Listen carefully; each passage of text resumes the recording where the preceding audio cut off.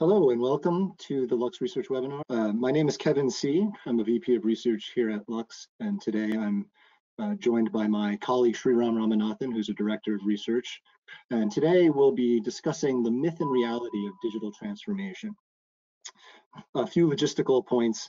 Uh, throughout the webinar, you can type any questions you have in the questions box on your screen. Uh, so just fire away as things come up. Uh, time permitting, we'll answer as many of those questions as we can.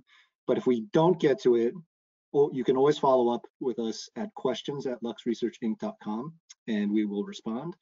The final bit is that the slide presentation and recording from the webinar will be sent to all attendees via email in the next 48 hour, uh, next 48 hours. And with that, uh, let's dive into what the agenda looks like. And um, we're going to have a few different stages to the to the webinar today. The first is a discussion between uh, Sriram and I on really uh, that point of that myth and reality, what we're seeing in terms of success and failure and the digital transformation initiatives we see uh, so far today. Uh, but then we want to move forward to how we can be constructive about increasing our chances of success. So we'll talk about how that correlates with maturity. And finally, we'll wrap up with a few recommendations. Um, so let's start off with a little bit of back and forth uh, between Sriram and I. And I want to start with a motivation uh, for digital transformation that should be familiar to you all, but just level setting uh, why digital transformation is important. And so these are some um, stats and, and, anecdotes from, from different sources. The first from McKinsey Global Institute, uh, stating essentially that AI has the capacity to deliver $13 trillion in value by 2030. Uh, another example. Uh, Kevin, I have to interrupt you at this point. All this information that you're sharing around the potential of digital transformation is really based on this one-sided perspective of success stories that digital transformation stakeholders, that consultants are sharing with the world out there. There's this untold story uh, of digital failures, which I'm going to get to in a minute, but nobody talks about those failures. And, and just looking at those failures I'm not really convinced that we are even on a trajectory to achieve some of these 10, 15, 20 trillion dollars of value that people are talking about. So take this example, right? That comes from a global chemicals company, huge company, present all over the world. Uh, you know, they have decades of experience in developing innovations in the lab and bringing them to the marketplace and building a successful product out of it, right? Successful revenues out of it. And so this company decides to jump into digital transformation. They're enthusiastic about it. They create a team. They dedicate some resources to it. Uh, and the team says, we're going to focus on Industry 4.0 projects because we want to improve our operational efficiency. And then even after two years, the team failed to launch a single Industry 4.0 project. And that's a that's a fair point but I, I can absolutely counter that example with another Industry 4.0 success story, and really broader than just Industry 4.0. And that's the story of an industrial pump manufacturer that we spoke with uh, that really managed to, to digitally transform their entire enterprise uh, from a product and business model standpoint within four years.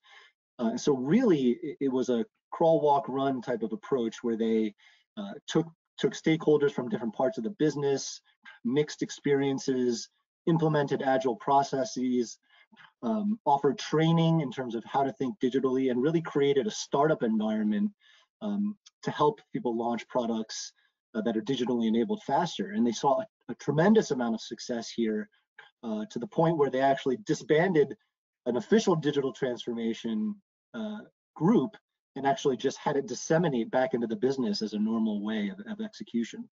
Um, so there's, there's really uh, clearly an example where value can be had immediately.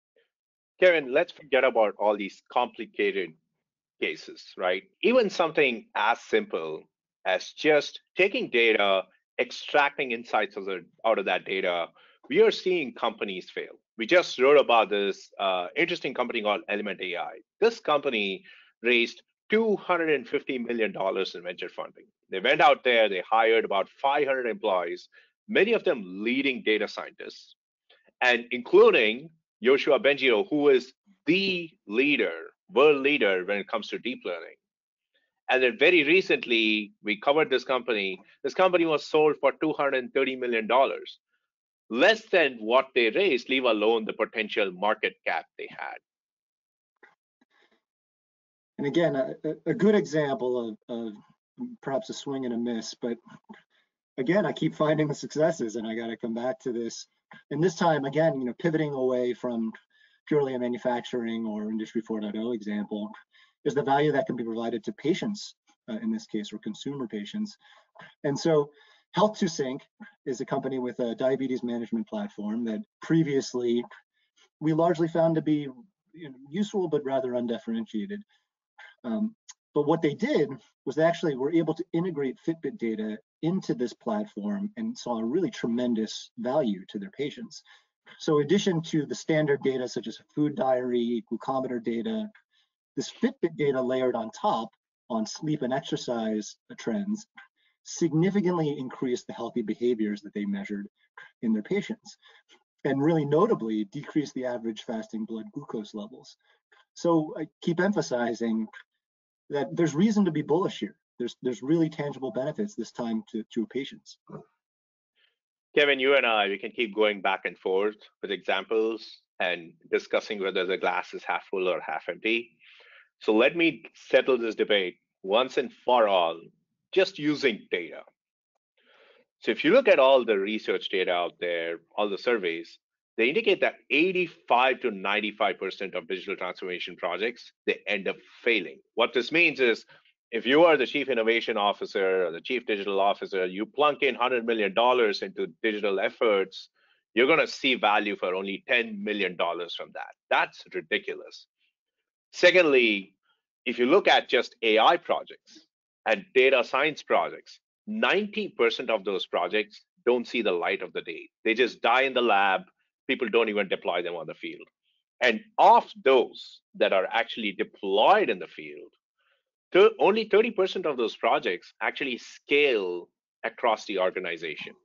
And this is an important data point to note because many people, uh, digital stakeholders, when they build these business cases, they're assuming that these projects are going to scale across the organization, when in reality, they don't. And I see that as a sign of failure.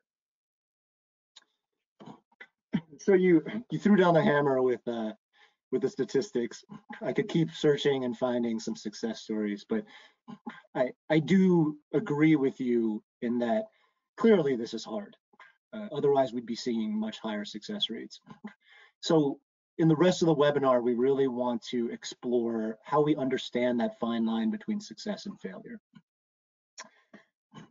And the key thing that we're going to emphasize going forward from here is that our belief from, from working with clients across the spectrum of industry, use cases, uh, and so on, is that the failures we're seeing are really due to a mismatch between the maturity of an organization and alignment with the, those digital transformation goals. So really, are you matching the maturity that you have to the actions that you're taking?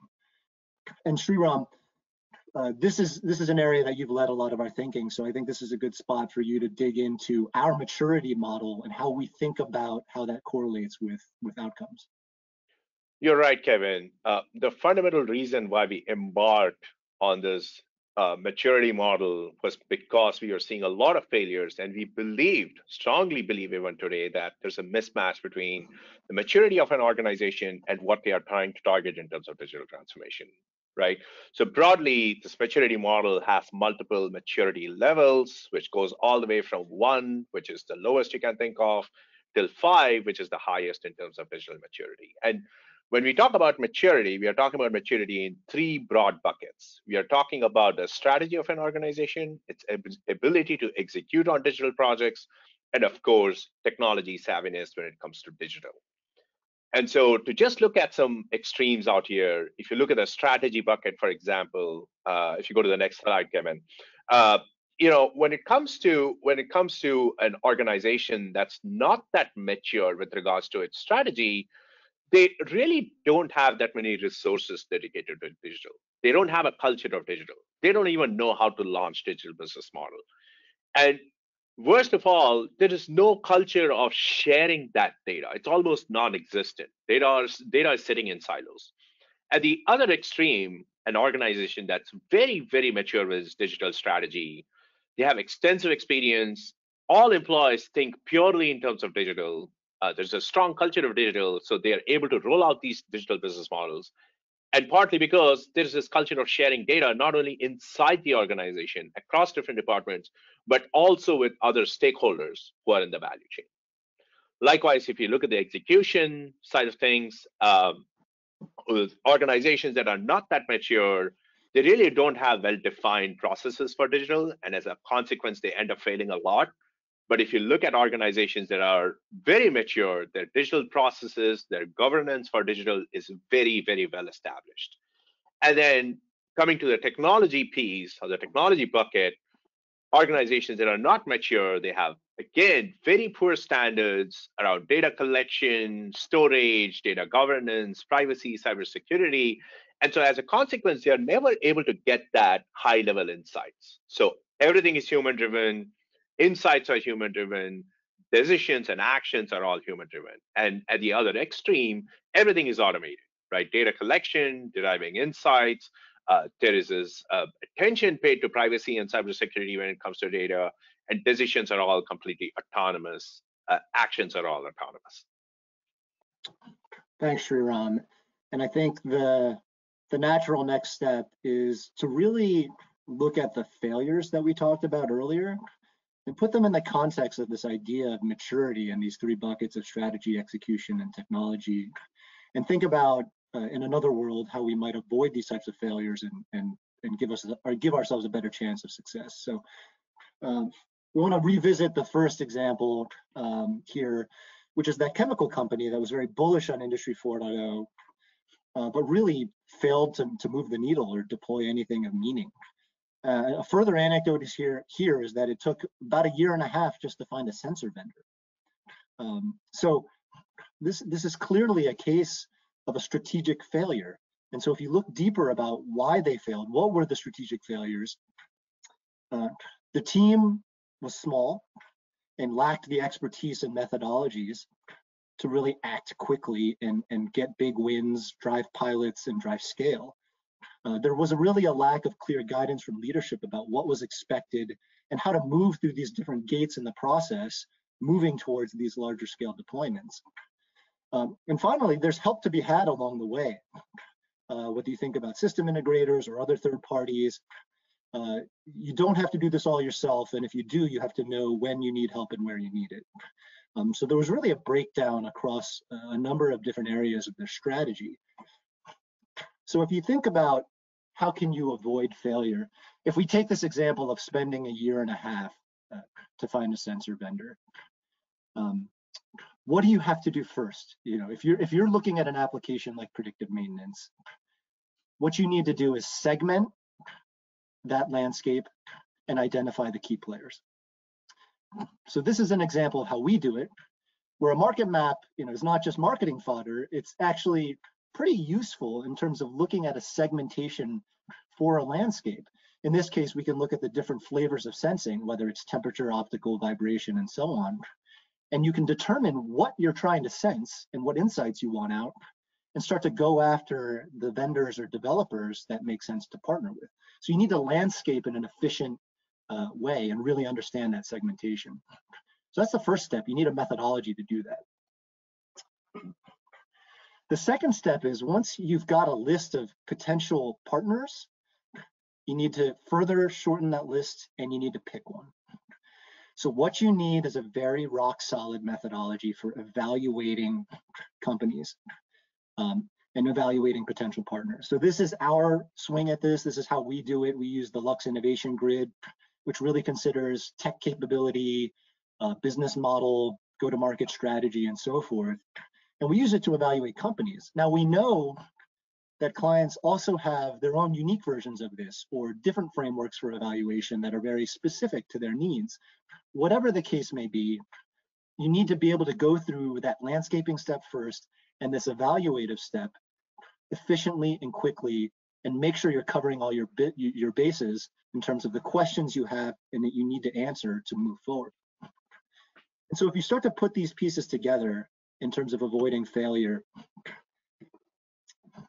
again, I'll reiterate, particularly in a space like Industry 4.0 that this chemical company was interested in, you have very simple processes to landscape, evaluate partners, and pilot. Those are the things that must be, must be done, and they must be done quickly and efficiently. And when you get to the pilot stage, we do see a lot of clients struggle with what is the criteria for a successful pilot? Sometimes they feel like they're in so deep already that they have to proceed, even if they're not getting results that they want. So you need to be able to set milestones that are adequate and meaningful so that you can measure the progress and, and, and success level for these pilots. And finally, everybody wants to move fast. And a lot of this is just being lightweight in your process, whether it's a stage gate or some other version of that. You really need to minimize the overhead, minimize the bureaucracy, and you need to be able to make decisions efficiently. And whoever your stakeholders are at each of those gates, they need to make extremely clear what their expectations are on the data they require to make those decisions about whether something passes or fails. Great. So now that we have understood why these companies fail, I think it's worthwhile going back and mapping these failures onto that maturity framework that we showed earlier. So the first example, which is the chemical company that we talked about, uh, it was really a broad strategic failure. They didn't have a clear vision. They didn't know what they wanted to focus on. And so they were not mature in terms of their strategy when it comes to executing on digital projects. The second, which was from the oil refinery, was really a project management or an execution failure. They did not scope their project out well simply because they didn't understand what are all the tasks that are involved when it comes to doing a project like machine learning for predictive maintenance or efficiency improvement. And then the last one, the AI company, the biggest part of failure here was technology. They were developing technology for the sake of developing a technology, when really they should have looked at what are the use cases in the marketplaces where people are looking for AI solutions. And that way they would have gotten more traction in the marketplace. So, what are some key takeaways here for all of you who are attending this webinar? First and foremost is you want to determine how you want to use digital. Do you want to use it in operations? Do you want to use it in customer facing activities? And if so, what specific use cases and applications you want to focus on? Once you do that, you want to identify where you are today with regards to your digital transformation and where you want to be, say, five or 10 years down the line, and what are those intermediate milestones. And it's critical to do this for multiple use cases applications you're targeting. And that's why we shared the digital maturity model today at a broad organizational level, but we have built that even for specific applications like knowledge management. Uh, we have done it for robotics, uh, mobile robots, picking robots, and even health and wellness solutions. So come talk to us. We can fit, help you figure out what those milestones are and where you need to be five or 10 years from now. Secondly, try to understand your organizational's digital transformation maturity. This is what Kevin and I have been repeatedly emphasizing out here. How is your strategic maturity? How is your execution maturity? How is your technology maturity when it comes to digital transformation? Identify gaps in that maturity and try to address those gaps. And again, we have a more detailed digital maturity model uh, available with us, and we have worked with many clients where we have conducted surveys with them, tried to ask them questions and help them understand where they stand with regards to, regards to digital maturity, what are the gaps, and how they can uh, uh, uh, fill those gaps, how can how they can eliminate those gaps. And lastly, when it comes to digital, failures are unavoidable. What you can do is use this maturity approach, use this approach of figuring out where you are today and where you want to be in the future to reduce your failures. Use agile methods and try to fail fast. We have built frameworks again, like the AI stage gate, which is purely for running AI projects. And then, most importantly, use these failures as stepping stones to success. Learn something from them. Thank you very much, and we are happy to take any questions you might have. Thank you, Sriram. So I will, uh, I'll moderate the question portion and both Sriram and I will jump in uh, and grab questions as they come. So we are taking those questions. I see some already. You can enter them into the questions box. Um, and if we don't get to it, uh, someone from Lux will be in touch after the webinar. So the first one, Sriram, is for you. And uh, it's a question about broadly, there's an option to deploy digital uh, transformation efforts in either a customer facing way or more operational, kind of a product versus process. And so the question is, where do you think the, the most benefit is and where should companies focus those efforts? Yeah, that's a very good question. Uh, first and foremost, it's important to understand that you do need to do digital transformation. Otherwise, you're going to be left behind. Now, everybody, all your peers are focusing on the operational side of things. So it is critical that you do do digital transformation of operations. However, that is really not going to provide you much competitive differentiation uh, going looking far into the future. And so from that perspective, eventually companies should also start looking into using digital transformation on the customer side of things. Because digital transformation on the customer side of things can introduce stickiness into the marketplace, a very, very important component, especially as products and markets are getting commoditized over time. And so you can use digital transformation to reduce friction with, with, with customers, you know, with regards to your interactions, with regards to the purchasing uh, uh, decisions and so on. Uh, that's one way to use digital. The other way, which we talked about in one of our webinar, webinars late last year, was to make products that help your customers uh, do better with regards to digital transformation. Some of the examples we shared in that webinar, like AkzoNobel, for example, is making these very interesting products that actually plug into the digital transformation efforts of their customers. AkzoNobel, again, is a chemical company and making chemical products that would fit into that. The holy grail, of course, is merging both. And a fantastic example that comes to my mind here is from BASF. So BASF started using smart pallets to essentially track, track raw materials as they were shipped out to customers. So initially, it was an operational improvement, just purely from a logistical efficiency perspective. But over time, they realized now we can track usage behavior of these raw materials on our customer side. And so effectively, they're starting to move to things like uh, automatically filling purchase orders, introduces stickiness into the business model, and even pay-per-use kind of a pricing model, which again ties into the business conditions of their customers, thereby reducing risk for our customers, which again brings in more stickiness into the business. Thanks, Sriram.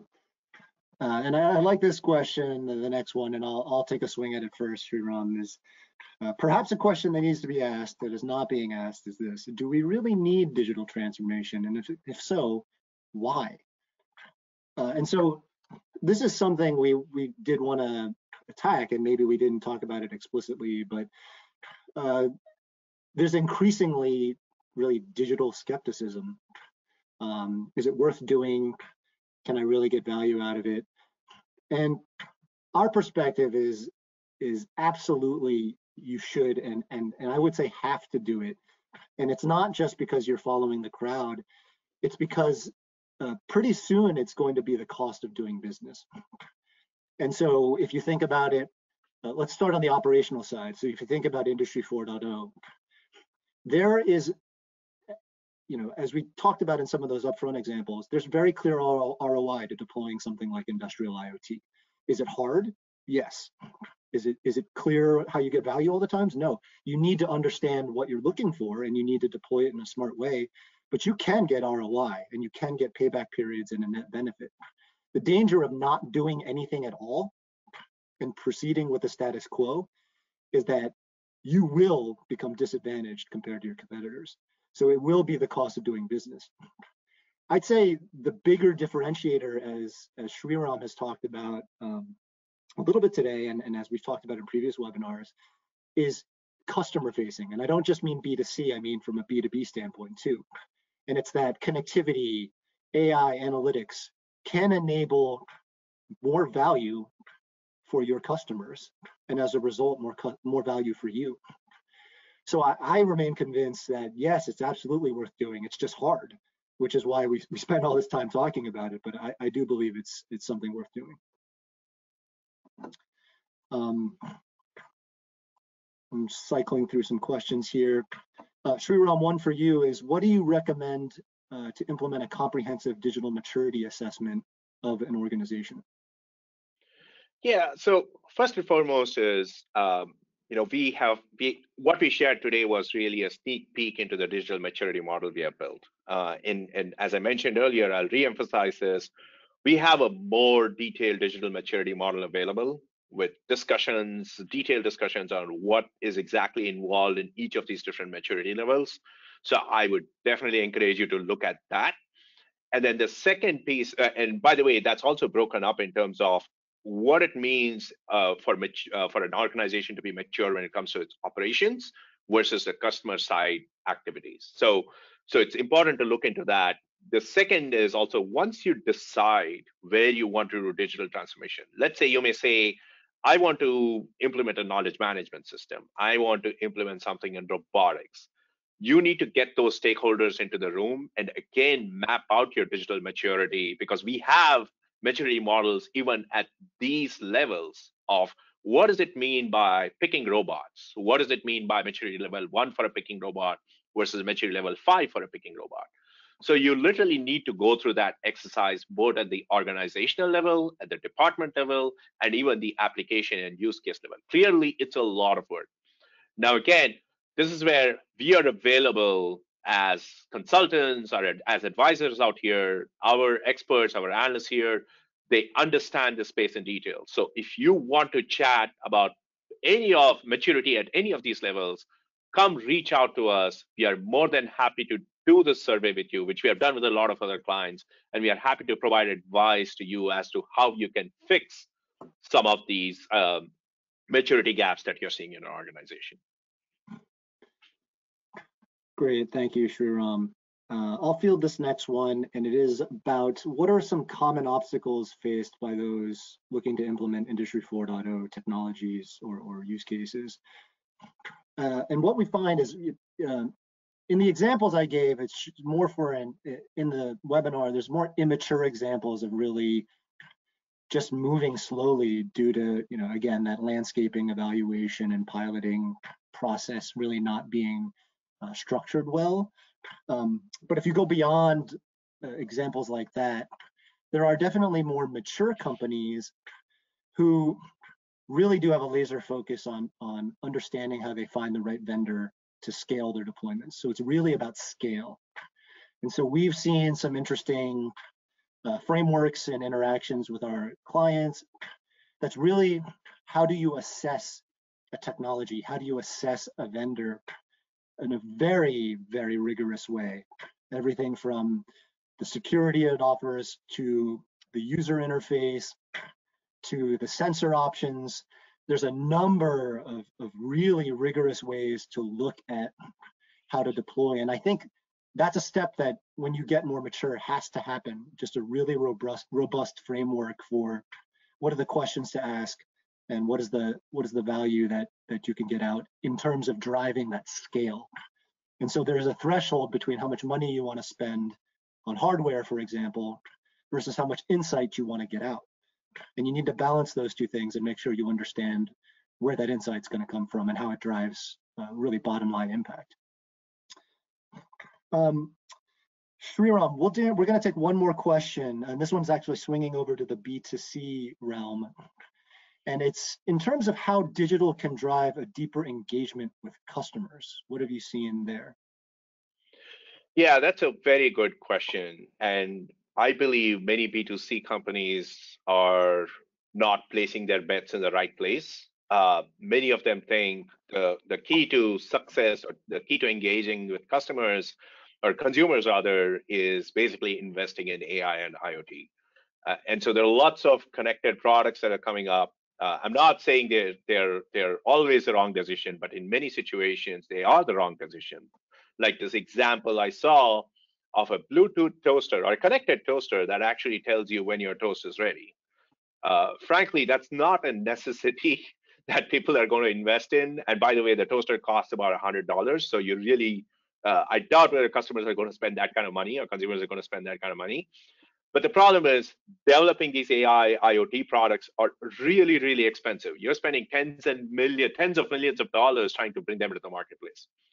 So the key is to kind of take a 10,000 foot view on this. First and foremost, what are consumers looking for? What are the broad trends today? So the broad trends are cost reduction, which digital can help to some extent, but not a huge amount.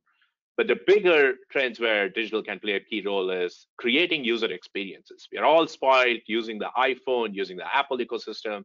Now they are looking for that in all kinds of products they are buying, right? Chairs and tables and so on.